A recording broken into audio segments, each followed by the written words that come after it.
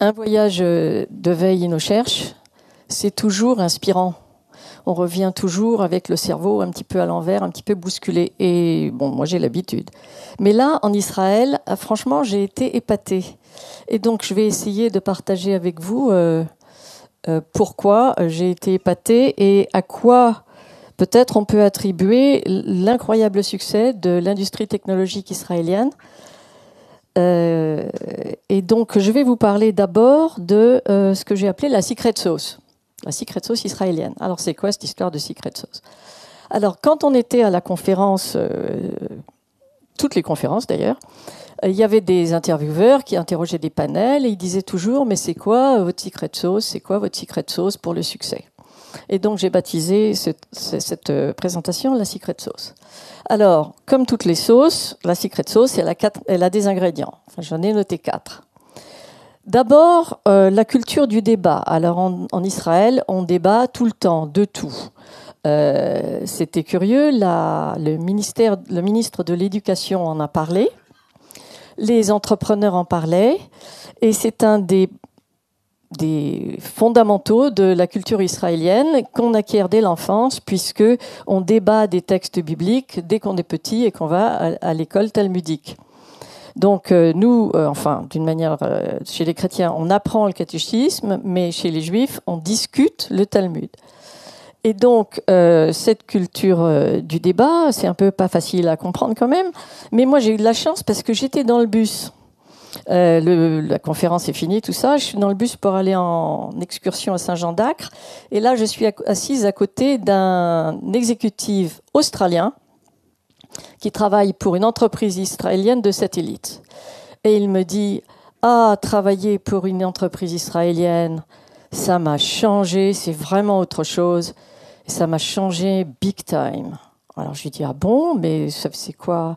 Mais c'est le débat, c'est le débat. Je lui dis mais quoi le débat? Quand? Comment? Euh, De quoi s'agit-il? Il dit mais c'est tout le temps. Alors je lui dis mais attends, donne-moi un exemple. Alors il dit bon ben voilà, moi je suis euh, relation client et donc euh, pour les satellites et donc je vais voir mon client et il me fait une demande, il a un besoin, tout ça. Donc je reviens, je prépare une solution, je la présente à l'équipe. Et ils me disent mais c'est quoi c'est quoi ce besoin là Pourquoi il veut ça? Mais c'est pas ça qu'il veut. Mais, qu'est-ce qu'il veut vraiment? Et donc me voilà reparti chez le client pour débattre avec le client de son vrai besoin. Et je reviens avec le vrai besoin, je prépare la solution, je présente la solution. Et là, ils me disent, mais c'est quoi cette solution? Euh, Mais c'est pas ça la solution est à penser, mais il y, y a, une autre façon de faire et tout ça et tout ça. Et donc il dit, bah voilà, c'est ça la culture du débat. Et en fait, si je réfléchis, combien de fois on a adopté ma solution du premier coup Jamais. Mais c'est aussi, c'est pour ça qu'on gagne.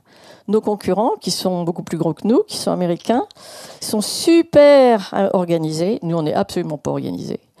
Mais on a la culture du débat et c'est pour ça qu'on gagne. Alors, c'est intéressant parce que cette histoire de débat, Évidemment, c'est important pour l'action collective et ça c'est important dans l'innovation, mais c'est aussi important parce que ça aplatit la hiérarchie. C'est-à-dire que quand on discute de tout tout le temps, euh, le poids hiérarchique, il est quand même euh, plus faible.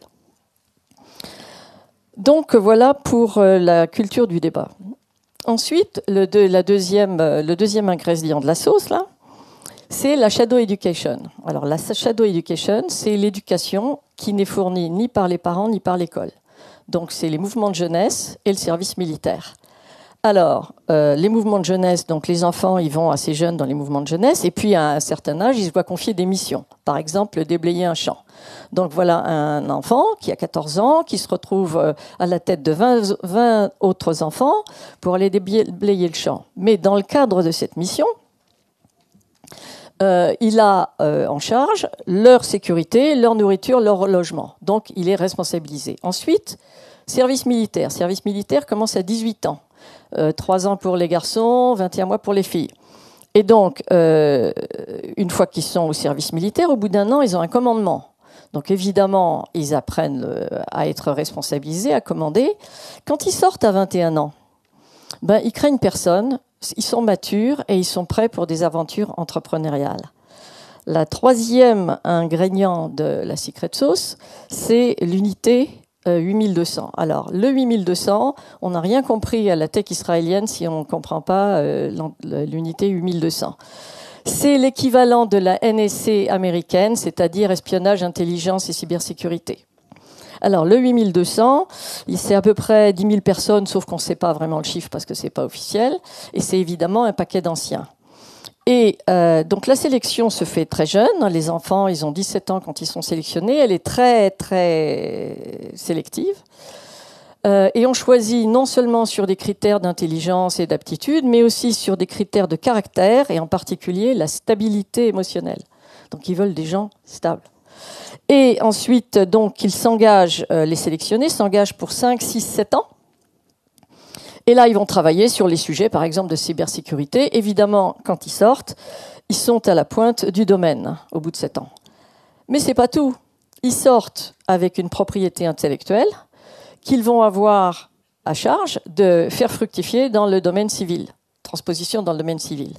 Et donc, quand on voit des industries euh, israéliennes euh, en pointe et tout ça, on fait Google, on regarde l'équipe, 8200, 8200, 8200. Donc c'est la façon pour le gouvernement israélien de donner un départ lancé euh, aux startups israéliennes.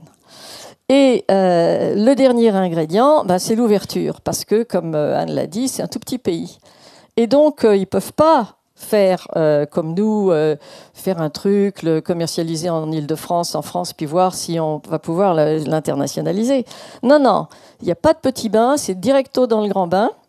Et donc, ils ont développé un savoir-faire impressionnant de relations avec euh, des boîtes de tous les pays, de partenariats, d'ouverture. Très impressionnant euh, tout ça. Et enfin, bon, donc voilà les quatre ingrédients de la sauce, là, de la secret sauce. Mais en fait, une sauce, elle est bonne que si euh, s'il y a la touche du cuisinier, quoi. Et je dirais que la touche du cuisinier, c'est les relations humaines, et même, je dirais, la chaleur humaine qu'on peut constater entre les gens. Donc, je vais vous donner un exemple.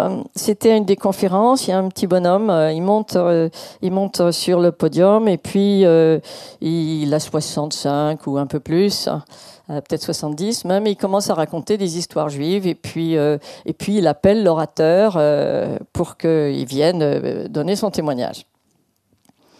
Et l'orateur qui monte sur la scène, il, fait des courbettes. Je suis si honoré, si honoré.